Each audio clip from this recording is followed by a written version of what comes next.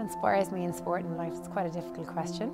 Um, I think ultimately for me, what inspires me is people that go out and challenge themselves and try new things, even if they know that there's a good chance that they mightn't necessarily be the best at it. I mean, in sport, we connect with people that are very real and that they kind of they give everything of themselves. And for me, when I was playing sport, it was that was the type of person that I looked up to, like Sonia O'Sullivan growing up. Every single time she took to the racetrack, she gave it her absolute all. She didn't always win, but she was someone I always wanted to aspire to be like.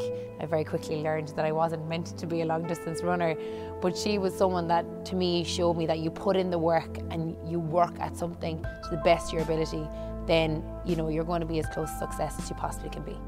Um, mostly my family, my grandparents, my parents always pushed me on to be the best I could, so them really.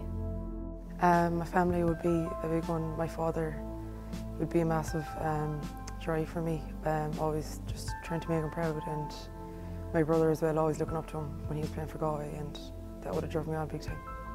Um, I suppose my family and just everyone around you, really your teammates and I suppose what inspires me is that when you actually get a taste of success, you just, you, that, you, that keeps you going, you know.